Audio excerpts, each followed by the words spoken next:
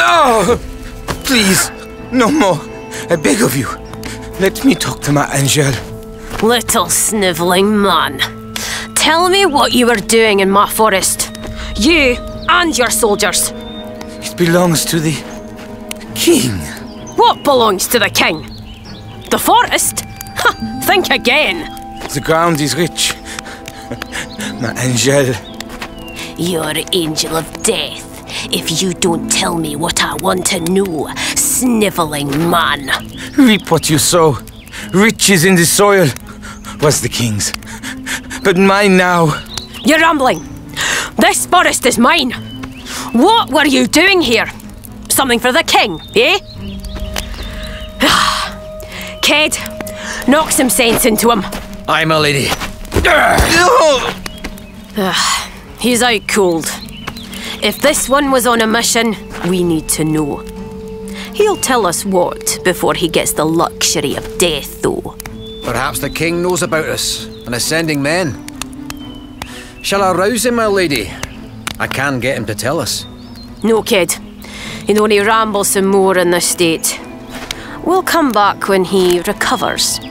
There's time yet. He'll talk when he knows it's his only way out.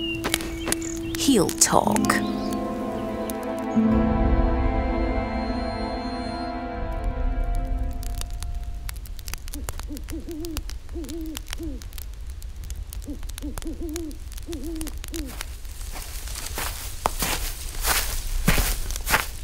I thought you might be hungry, Philip.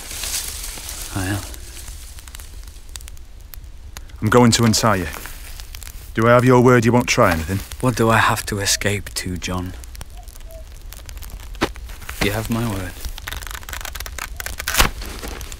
The king's meat, Philip. I reckon you should enjoy that given the circumstances. Ale? Please. Will you join me? Why not? John, what are you doing? Leave it, Will.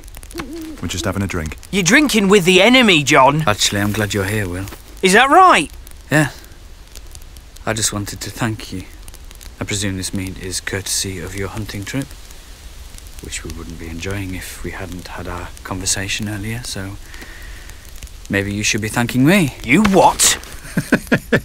He has a point, Will. What I'm saying is I'm not your enemy, not now. In fact, I'm just like you. You're nothing like me. Huh?